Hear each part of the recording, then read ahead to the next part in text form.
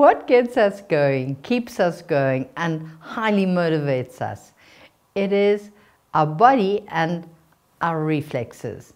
All the childhood reflexes that we would have integrated as babies are the reflexes that actually get us going as human beings.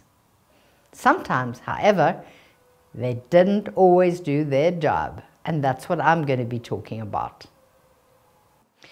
Do you often wonder why children are such wiggle woggles and how they just can't actually sit still? Well, it's because of three major reflexes of the back.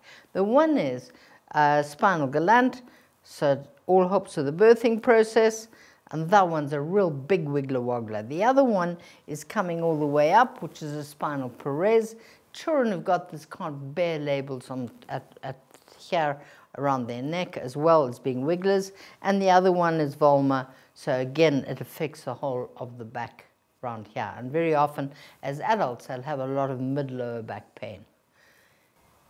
For more information about this profound work and in training or consulting me for yourself or for your child, contact me, Jill, at my website, developingthebrain.co.uk.